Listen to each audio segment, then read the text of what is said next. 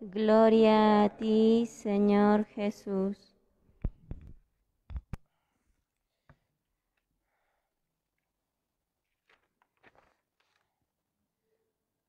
Hoy sábado estamos al final de esta semana. Demos gracias a Dios por todo lo que ha hecho para cada uno de nosotros a lo largo de esta semana.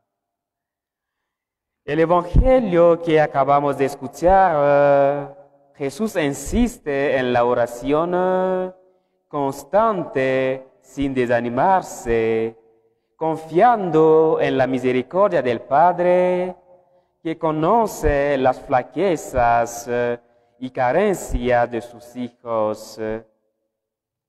La necesidad de nunca desmayar es ciertamente uno de los mayores eh, desafíos para nuestra fe.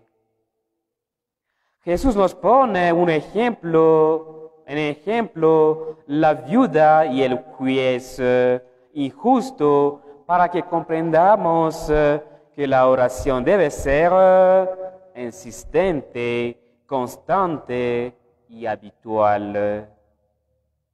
La imagen de la viuda en la parábola es sugerente, pues en Israel es símbolo de la debilidad, del desvalido imaginado social. En el tiempo de Jesús, una viuda no tenía apoyo económico.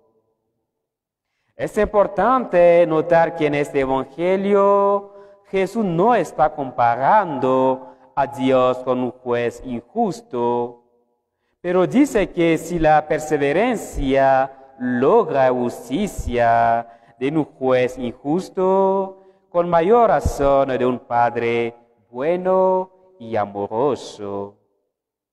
La parábola debe leerse en el contexto del comentario anterior de Jesús.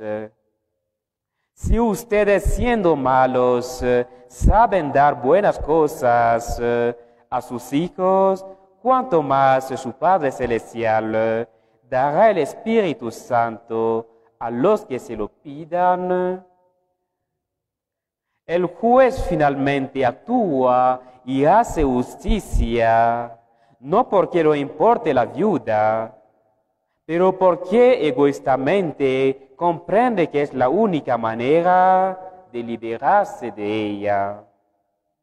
Dios es totalmente diferente, lleno de misericordia y compasión. A veces eh, podemos ser muy impacientes eh, y sentir que Dios no ha oído nuestras oraciones eh, cuando no recibimos respuesta inmediata. Vivimos en un mundo de gratificación instantánea, respuesta instantánea, contacto instantáneo. Con un botón en nuestro computador podemos estar en cualquier parte del mundo. Pero en el Evangelio de hoy Jesús nos está pidiendo paciencia.